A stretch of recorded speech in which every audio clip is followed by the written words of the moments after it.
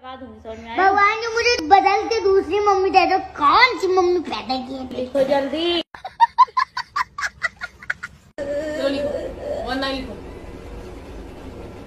वो नहीं हाँ क्या फ़ायदा है रोने से उसको चुप रहो। क्यों? क्यों चुप रहूँ मैं? आप मेरी मम्मी पापा मम्मी है। तो? आप मेरी मम्मी और ये पापा है। और रोने से क्या फ़ायदा होगा? रोने से क्या मिलेगा? चॉकलेट। कौन देगा चॉकलेट?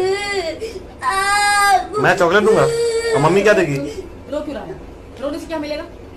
क्या मिलेगा मैं भी तो वही पूछा हाँ? क्या मिलेगा रोने से? मम्मी क्या देगी? मम्मी मम्मी देगी का, कार।